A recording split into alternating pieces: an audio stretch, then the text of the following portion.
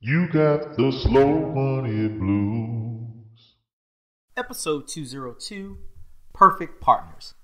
Not long ago, I asked several people this question How many people in your life do you trust?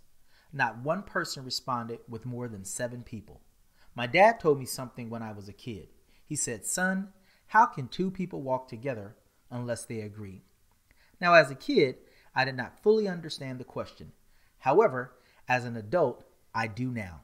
It's easy as addition, subtraction, multiplication, and division. Let's get personal. If you're like the people I randomly surveyed, you have been in some relationships that were not good for you. In fact, you may still be in some relationships that are not good for you. How is that possible? Human beings like the known and are afraid of the unknown, meaning we would rather be in unhealthy relationships, vice pursue new healthy better relationships.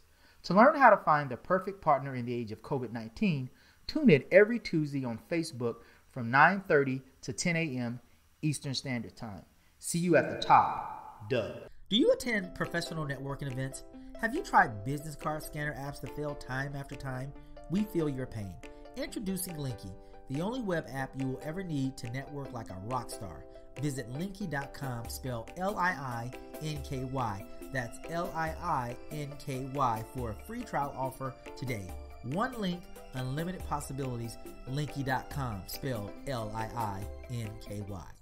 Visit slowmoneyblues.com to get your free ebook and join our private Facebook group to get your one page freedom success plan. See you on the inside, Doug.